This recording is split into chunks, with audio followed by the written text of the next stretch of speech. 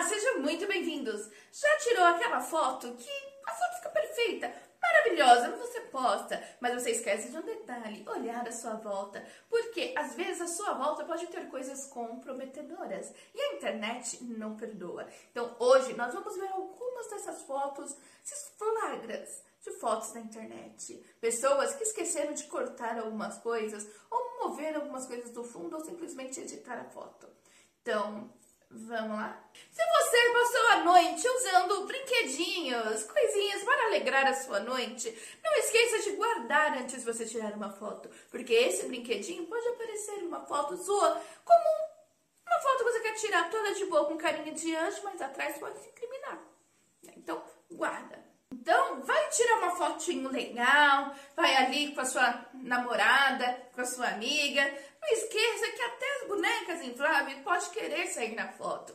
Então, esconda esses brinquedos, esconda essas bonecas, porque às vezes pega bem ou corta. Eu tenho uma ferramenta muito legal assim que dá pra você cortar a foto e apagar essas coisas. Entendeu? Por quê? Porque as pessoas vão te julgar por isso. As pessoas são idiotas e te julgam por essas coisas, é sério. Vai tirar uma foto legal, uma foto top, numa altura boa, e você precisa subir na privada? Tudo bem, mas corte a privada.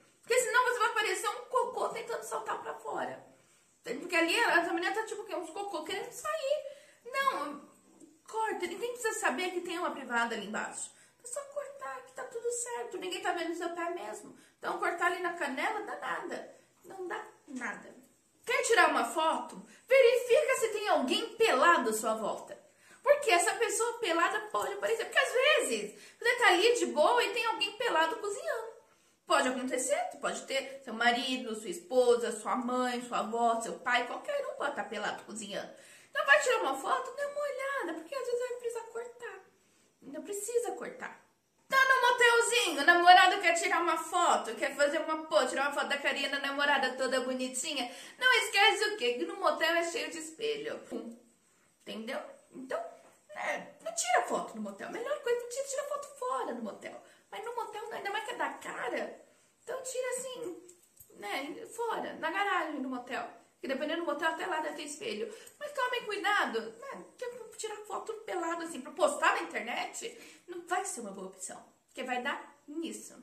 Foto em banheiro.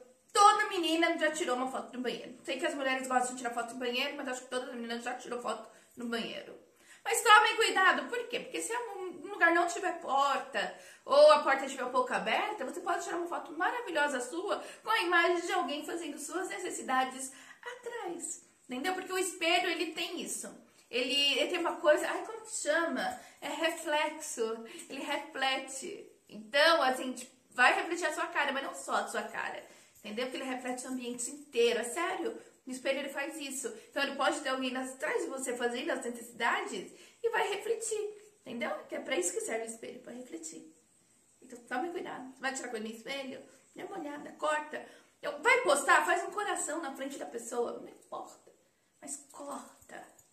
Corta. E quando o seu fotógrafo, ele gosta de fotografar pelado. Ele gosta, ele tá de pelado, fala, amor, eu vou tirar umas fotos suas. Acontecem. Então você tá sentada, toda bonitinha, toda plena, só que o seu fotógrafo, ele, ele tem o tal do espelho. Ele não sabe como funciona o espelho. Ele tira uma foto sua na frente do espelho. Você sai linda, mas com uma parte íntima aqui.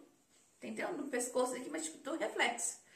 É, a pessoa tá pelada ali estragando a sua foto, porque a sua foto fica bonita. Mas o que, que você vai fazer aqui? Vai colocar um coração aqui? É, não fica tão ruim, mas também não fica bom, entendeu? Às vezes o objetivo dessa foto não é esse. Então, tome cuidado com o espelho, que o espelho ele pode te entregar. A verdade, o que mais te entrega é o espelho. Tá querendo tirar uma foto um pouco diferente, ali escovando os dentes de boa? Não tem problema, pega uma altura, põe o pé lá na cabeça, faz um malabarismo legal, mas corta. Que todo mundo vai olhar e vai falar assim, meu Deus, como ela tirou essa foto? E é assim que tirou essa foto. Por quê? Porque essa foto ficou esquisita, mas talvez tivesse feito só foto do ângulo, ia ficar melhor. Entendeu? Do que esse negócio de um pé lá em cima, pé lá embaixo, a boca ali escovando os dentes. Ficou estranho, ficou parecendo uma aranha. Tudo, tudo aberto, tudo arreganhado. Então não ficou legal. E quando o cachorro tenta atrapalhar a foto, que é, essa é de praxe. Cachorro adora, gato então adora atrapalhar a foto. Então vai tirar a foto ali e sabe que é uma bunda de um cachorro no meio de você, sua amiga. Vem ali, ó, um popozão. Entendeu? Mas aí não dá pra cortar, entendeu? Você tem que tirar o cachorro e tirar outra foto. Mas pelo menos tem a opção de tirar o cachorro. Nesse caso, ninguém quis tirar o cachorro. Deixou lá. Entendeu? Deixou tudo lá. Se você quer tirar uma foto fingindo que tá dormindo, saiba tirar essa foto. Por quê? Porque se tiver um espelho, já te entrega. Dê uma olhada nessa foto. O cara tirou quieto. Ah, todo mundo vai achar que eu tô dormindo. Só que o pezinho dele lá no espelho tá lá em cima. Não, que é pra tirar uma foto normal. Não. Gente, mas era tão simples. Só fazer assim, fechar o olho, que já fingia que tava dormindo. Mas enfim, ele quis fingir que outra pessoa estava tirando a foto. Mas não, era ele, com os pezinhos dele lá em cima, fazendo uma acrobacia, um malabarismo, fazendo ali um negócio de equilíbrio, todo top, pra conseguir tirar a foto dele fingindo que está dormindo. Então, se você tá pensando em tirar fotos legais, você tem que observar o quê? Se o espelho não te entrega, se não tem ninguém pelado do seu lado, ninguém é, fazendo cocô do seu lado, ninguém. Entendeu? Porque a foto tem que ficar boa ali no conjunto, porque só você não vai adiantar. Porque se tiver outra coisa por trás, a outra coisa vai destacar, você não. Então, esse é o jeito. Olhou tudo, tá tudo bem, dá pra tirar foto? Tira. Tá? Se não, não. Se tirou foto, dê uma olhada na foto antes de postar. Porque pode ter coisas que não vai ser muito bom, não. Tem coisa que, que, vai te chatear. Não vai ser muito legal, não. Bom, então eu vou ficando por aqui. Espero que tenham gostado desse vídeo. Se vocês já tiraram algumas fotos que vocês postaram e se arrependeram depois, deixa aqui nos comentários que eu quero saber. Não se esqueçam que todo dia tem vídeo novo no canal. Eu espero por vocês. Beijo, tchau!